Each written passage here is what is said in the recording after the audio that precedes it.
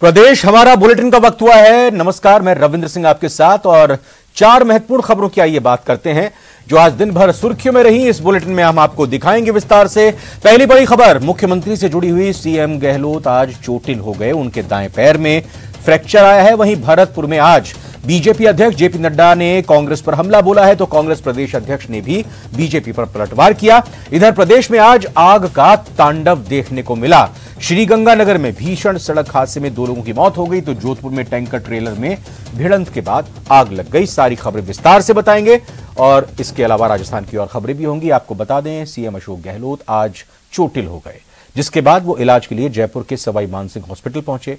SMS अस्पताल में उनकी ड्रेसिंग और जाँच हुई। मुख्यमंत्री के एक पैर में माइनर फ्रैक्चर बताया गया है और दूसरे पैर में प्लास्टर लगा है। डॉक्टर ने सीएम को सात दिन का बेड रेस्ट करने की सलाह दी है।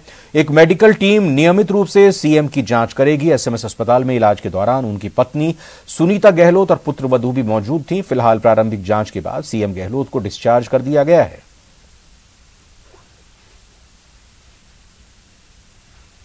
तो पैर में चोट लगने पर सीएम गहलोत ने ट्वीट भी किया। उन्होंने लिखा है कि आज एक बैठक के बाद आवास पर अपने कक्ष में जाते समय पैर फिसलने से दोनों पैर के अंगूठों में चोट आई है। एसएमएस अस्पताल में प्रारंभिक इलाज के बाद आवास पर आ गया हूँ। फ्रैक्चर होने के कारण डॉक्टरों की सलाह पर कुछ दिन आवास से ही कार्य जारी रखूँगा। आपकी शुभकामनाओं के लिए आभार। तो कुछ दिन आवास से ही कार्य जारी रखूँगा। ये ट्वीट करके जानकारी दी है मुख्यमंत्री अशोक गहलोत। आपकी शुभकामनाओं के लिए आभार।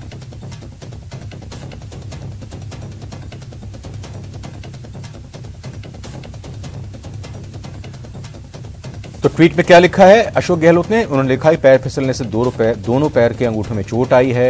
एसएमएस अस्पताल में प्रारंभिक इलाज के बाद आवास पर आ गया हूँ। फ्रैक्चर होने के कारण डॉक्टरों की सलाह पर। कुछ दिन आवास से ही कार्य जारी रखूँगा। आपकी शुभकामनाओं के लिए आभार।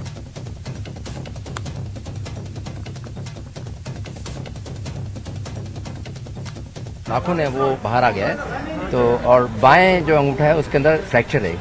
तो इसी को देखते हुए यहाँ पर उनका जो फ़र्स्ट एड है और पूरा इलाज यहाँ पर किया गया एमरजेंसी में। हमारे plastic surgeon doctor Rakesh Jain यहाँ पर आए थे और उन्होंने जो अंगूठे का जो नाखून उखड़ा है, उसको वहीं पर ही इसका स्टिच करके उसको जोड़ा गया है। साथ में उसको पट्टी की गई है। साथ में जो दूसरे पैर में जो बायां पैर है उसके जो उसका जो अंगूठा है उसके में फ्रैक्चर है तो उसको हमने डॉक्टर अनुराग धाकड़ ने जो हमारे ऑर्थोपेडिक कंसल्टेंट है उन्होंने इसके ऊपर प्लास्टर किया है। और ये हिदायत दी गई मुख्यमंत्री को कि अगले कुछ दिनों के लिए सख्त हिदायत दी गई कि मूवमेंट ना किया जाए। कितने दिन सर? अभी कम से कम ये जो है जो बाएँ पैर में उनको स्लैब बांधा गया है तो ऑर्थोपेडिक सर्जन ने अभी राय दी है कि सात दिन बाद एक बार देखेंगे। कैसी थी, उसके बाद डिसाइड करेंगे। वो गिर गए, जिससे उनके नाखून में चोट लगी और लेफ़्ट साइड का जो पैर है, उसमें भी उसमें भी राइट में तो लगी है नाखून के, नाखून उतर गया। और राइट साइड में जो है, उसमें लेफ़्ट साइड वाले में उनके हेयरलाइन फ्रैक्चर भी है। तो इसलिए दोनों जो अंगूठे हैं, दोनों बायां और दायां दोनों का इन्होंने इलाज किया है एक्सरे कराया है दवाई दी है और अभी चूँकि फ्रैक्चर है तो रेस्ट के लिए कितने दिन रेस्ट बताया डॉक्टर्स ने कितना दिन? वो तो देखिए जैसा जैसा इनकी रिपोर्ट आएगी डॉक्टर्स का काम है बट जब फ्रैक्चर है तो आप समझ सकते हैं कि कुछ दिन रेस्ट करने दोनों पैरों में चोट है दोनों पैरों में चोट है। एक में जो नाखून था वो एक तरीके से पूरा निकल गया था लेकिन उसको वापस रीसेट किया गया है। वो बिल्कुल डेड नहीं हुआ। खबर ब्यूरोक्रेसी के नए बॉस को लेकर काउंटडाउन शुरू हो चुका है। इससे जुड़ी बताते हैं, राजस्थान में ब्यूरोक्रेसी के नए मुखिया को लेकर काउंटडाउन शुरू हो गया है। वर्तमान मुख्य सचिव उषा शर्मा कल रिटायर होने जा रही हैं। कल ही ब्यूरोक्रेसी के नए बॉस की घोषणा हो सकती है। ऐसे में नए मुख्य सचिव के नाम को लेकर कयास लगाए जा रहे हैं। सीएस की रेस में वरिष्ठता के आधार पर सबसे पहले नंबर पर वीनू गुप्ता का नंबर है। या कहें कि वीनू गुप्ता आती हैं। इसके अलावा आईएएस सुबोध अग्रवाल, शुभ्रा सिंह, राजेश्वर सिंह, अभय कुमार और अखिल अरोड़ा के भी नाम चर्चाओं में हैं।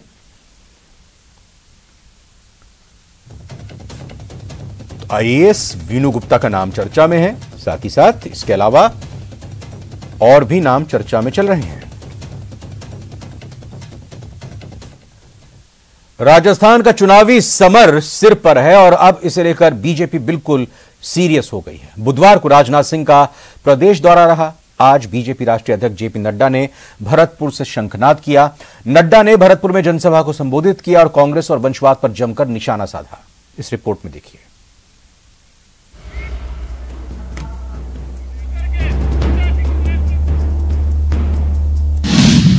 भरतपुर से बीजेपी का चुनावी शंखनाद।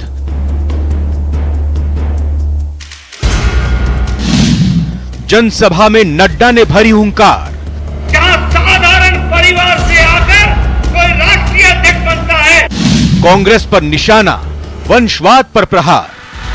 कहाँ कहाँ वंशवाद ने अपने आप को फैला लिया भ्रष्टाचार पर वार किसकी बनेगी सरकार?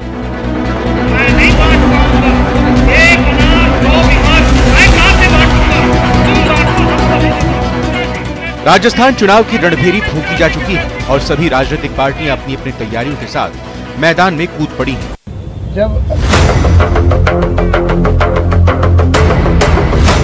ऐसे में खुद को देश की सबसे बड़ी पार्टी कहने वाली बीजेपी भी कहाँ पीछे रहने वाली है? बीजेपी के प्रदेश नेता से लेकर केंद्रीय नेता भी चुनावी रण में हुंकार भर रहे हैं। बुधवार को रक्षा मंत्री राजनाथ सिंह ने जोधपुर के बालेसर से प्रचार की शुरुआत की। तो आज बीजेपी के राष्ट्रीय अध्यक्ष जेपी नड्डा ने भरतपुर में कांग्रेस पर निशाना साधा और वंशवाद को लेकर तमाम पार्टियों पर जमकर हमला बोला। कांग्रेस पार्टी भी अब परिवार की पार्टी बन गई है। माँ सोनिया, बेटा राहुल, बेटी प्रियंका, बाकी सबकी छुट्टी। भारतीय जनता पार्टी को छोड़कर कोई पार्टी वंशवाद से अछूती नहीं रह गई। कोई पार्टी नहीं रह गई। दरअसल बीजेपी के राष्ट्रीय अध्यक्ष जेपी नड्डा भरतपुर के दौरे पर रहे, जहाँ उन्होंने बीजेपी के जिला कार्यालय का उद्घाटन किया। इसके बाद उन्होंने भरतपुर शहर और नदबई में जनसभा को संबोधित किया। नदबई में एक तरफ़ मेघ गरज रहे थे और दूसरी ओर जनसभा में नड्डा। कांग्रेस पर भ्रष्टाचार का आरोप लगाते हुए नड्डा ने कहा कि कांग्रेस ने अपने एक एक विधायक को भ्रष्टाचार का लाइसेंस दे रखा है और लूट की पूरी छूट है।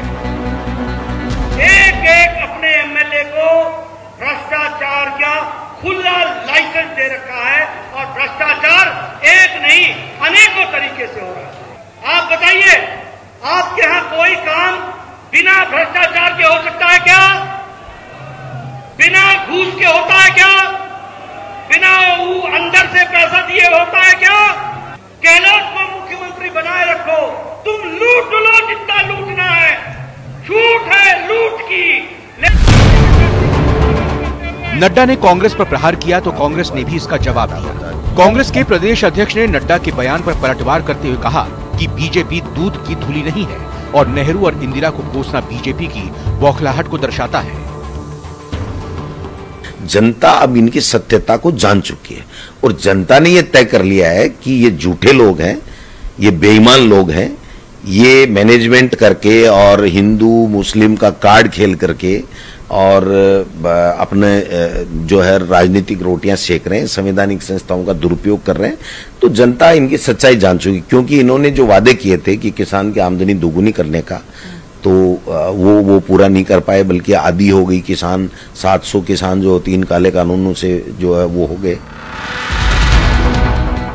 तेईस के चुनावी रण में बीजेपी का पूर्वी राजस्थान पर पूरा फोकस है। पूर्वी राजस्थान पहले बीजेपी का गढ़ माना जाता था। हालाँकि 2018 के चुनाव में यहाँ कांग्रेस ने बाजी मारी और बीजेपी को भरतपुर ज़िले के सभी सात सीटों पर हार का सामना करना पड़ा जिसकी वजह से बीजेपी के दिग्गज नेता अभी से ही जनता को साधने की कोशिश में लगे हैं।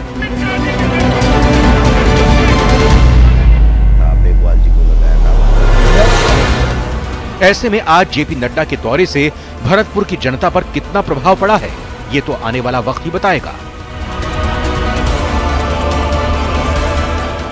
Bureau report news 18 Rajasthan.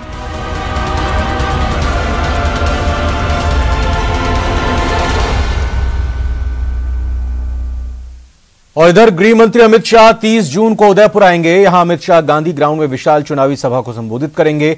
BJP Amit Shah की सभा में भीड़ जुटाने के लिए कई कार्यक्रम आयोजित कर रही है और लोगों को सभा में आने का न्यौता दे रही है। आज बीजेपी ने पिछोला झील में बोटिंग करते हुए विशाल जनसभा का प्रचार प्रसार किया। इस दौरान बीजेपी राष्ट्रीय सचिव विजया राहटकर और बीजेपी के पूर्व प्रदेश अध्यक्ष अरुण चतुर्वेदी समेत दिग्गज नेता पदाधिकारी मौजूद रहे।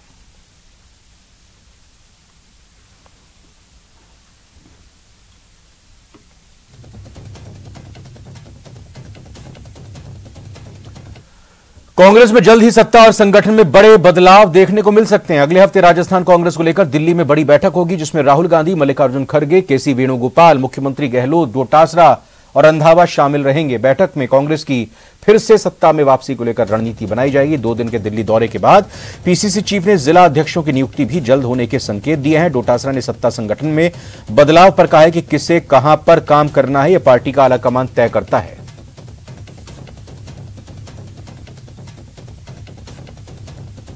राहुल गांधी जी और खड़गे साहब सब रहते हैं, मौजूद रहते हैं, जो भी मीटिंगें हुई हैं, उसमें सब में राहुल गांधी जी भी मौजूद रहते हैं और खड़गे साहब भी रहते हैं। तीन, चार, पाँच जब भी उनको समय मिलेगा, वो हमें बताएँगे, हम आपको, सबसे पहले मैं आपको ही बताऊँगा। ये इनका, वो उनके विचार हैं, वो सीनियर लीडर हैं, मुख्यमंत्री भी हैं। अब पार्टी आलाकमान को देखना है कि कौन सी बात किस तरीके से उनको किस ले जाना है।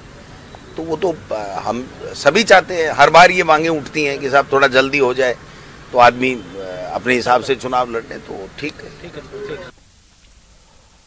मंत्री मुरारीलाल मीणा का दौसा में आज बड़ा बयान सामने आया है। मंत्री मुरारीलाल मीणा ने कृषि उपज मंडी के कार्यक्रम को संबोधित करते हुए साफ़ साफ़ शब्दों में कहा कि दौसा की जनता के लिए अशोक गहलोत भी खुद ही हैं और सचिन पायलट भी वो खुद ही हैं अशोक गहलोत सर्वमान्य नेता हैं। वहीं पायलट परिवार से मेरे 40 साल से संबंध है। उन्होंने कहा कि बीजेपी वाले नंबरी लोग हैं, लोगों को बहकाने का काम करते हैं, कांग्रेस के लोगों को भी बहका देते हैं।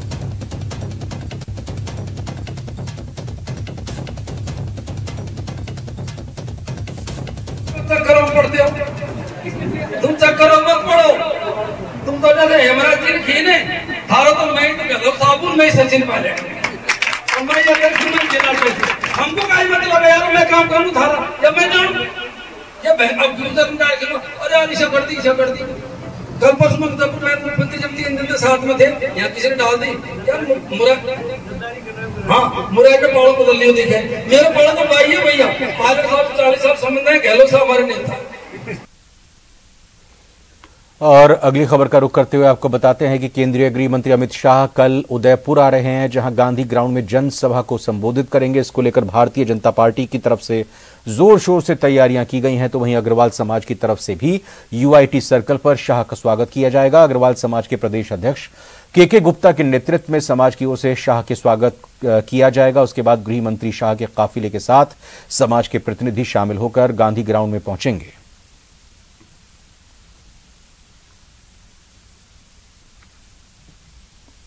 राजस्थान के लिए बड़े गौरव की बात है। मेवाड़ की इस पावन धरा पर कल प्रातः 10 बजे अमित शाह जी, जो देश के ओजस्वी गृह मंत्री हैं, एक अलग अपनी पहचान रखते हैं, जिन्होंने इस देश को उच्च स्तर पर पहुँचाने के लिए, देश का अन्य देशों में मान और सम्मान बढ़ाने के लिए, राजस्थान ही नहीं, पूरे देश और दुनिया के 141 करोड़ लोगों के दिलों में बसने वाले और एक कर्मठ और जुझारू व्यक्तित्व के धनी। हमारे मेवाड़ की पावन धरा पर कल प्रातः 10 बजे एयरपोर्ट पर लैंड करेंगे। उसके बाद भंडारी दर्शक मंडल पर जाएँगे। उससे पहले यूआईटी सर्कल पर हमारे समाज ने निर्णय किया है कि हम उनके साथ काफिले के रूप में भंडारी दर्शक मंडल जाएँगे। ये वह शख्सियत है जिसने धारा 370 हटाई और संसद में ललकारते हुए सारे सांसद को कहा कि धारा 370 हटाने के लिए हमें हमारे प्राणों की भी आहुति देनी पड़ी तो हम पीछे नहीं हटेंगे। और फ़िलहाल एक छोटे से ब्रेक का वक्त हुआ है।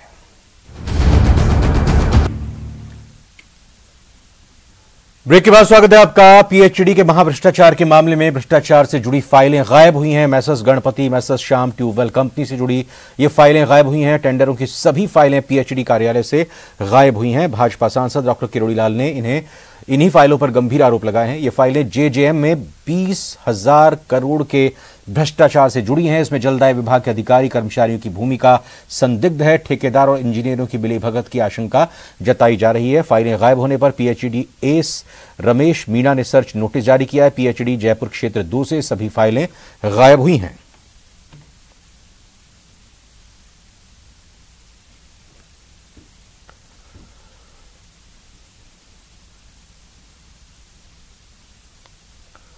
अगली खबर का रुख करते हैं। अगर आपको सरकारी कामकाज से संबंधित आंकड़ों की जानकारी चाहिए तो आप सरकारी बाबुओं से लेकर मंत्री तक की जानकारी मिलने की उम्मीद करते हैं। मंत्री की राजनीतिक मजबूरियाँ हो सकती हैं, लेकिन दिन रात सरकारी आंकड़ों को बनाने वाले विभाग के पढ़े लिखे भारतीय प्रशासनिक सेवा या राज्य प्रशासनिक सेवा के आला अधिकारियों के पास भी जानकारी नहीं हो तो गंभीर सवाल खड़े हो जाते हैं।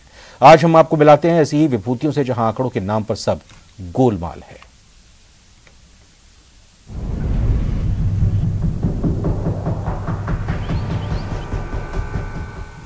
सरकारी विभागों में है सब गोलमाल। सही आंकड़ों से महकमा ही अनजान। आला अधिकारियों को भी नहीं जानकारी। कैसे बनेगी राज्य की प्रगति की रिपोर्ट?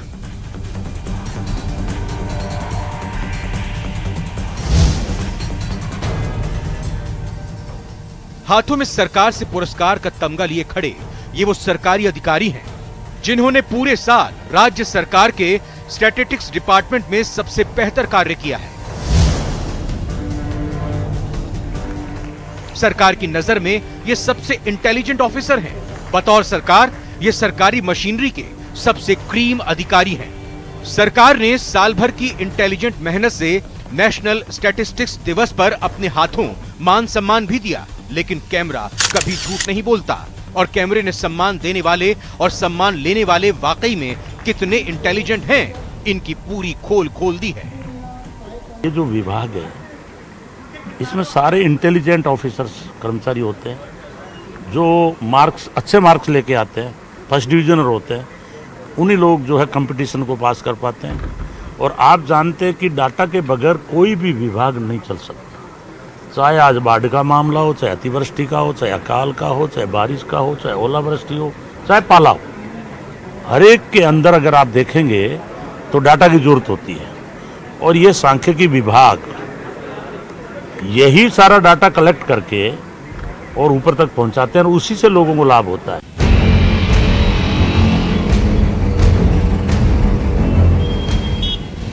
राष्ट्र निर्माण के साथ साथ राज्य सरकार और आम आदमी के लिए आंकड़ों का कितना महत्व है? भाषण में तो स्टैटिस्टिक्स विभाग के मंत्री बहुत अच्छी तरह से समझा रहे हैं। लेकिन मंत्री से जब विभाग के ही कामकाज के आंकड़ों के बारे में पूछा गया तो मंत्री बगल में खड़े विभाग के आला अधिकारियों से जवाब की उम्मीद करने लगे। लेकिन विभाग के अधिकारी भी मंत्री के पूछने पर अपना सिर खुजाने लगे। जानकारी नहीं मिलने पर मंत्री कैमरे के सामने उलझ गए तो उल्टा पत्रकारों को ही कहने लगे, आप तो बस उलझाने वाले सवाल कर रहे हैं। स्टेटिक्स के हिसाब से स्टेट नेशन वाइड हमारे स्टेट की क्या सिचुएशन है हमारे डाटा कितने सही हैं कौन सी हम रैंक पर हैं और क्या सुधार करने का मेरा जहाँ तक ख्याल है कि राजस्थान उन स्टेट में है जहाँ बहुत अच्छी स्थिति है। मेरा जहाँ तक सोच है। एक्यूरेस के बारे में मैं जानकारी करूँगा लेकिन मेरा जहाँ तक ख्याल है कि बहुत अच्छी कंडीशन में है। देखा जी अपन कौन से उसमें एस में सुधार काफ़ी कर रहे हैं सर और बाकी डाटा एनालिटिक्स में भी स्टेट के मैं कह रहा हूँ ना हमारी एक्यूरेसी लगभग सही है। सांख्यिकी विभाग वो विभाग है जहाँ राज्य सरकार उद्योग व्यापार अमीरी गरीबी जनसंख्या जाति धर्म समाज बीमारी चिकित्सा आपदा राहत खेती किसान कल्याण समेत सभी विभागों के सही आंकड़ों को तैयार करवाती है और इन्हीं आंकड़ों के आधार पर केंद्र सरकार और राज्य सरकार के राज्य की प्रगति की रिपोर्ट तैयार की जाती है। लेकिन हर क्षेत्र में महत्वपूर्ण योगदान देने वाले आंकड़ों के बारे में जब पूरा महकमा ही गोलमोल करे तो कैसे सही और सच्चे विकास की उम्मीद की जा सकती है?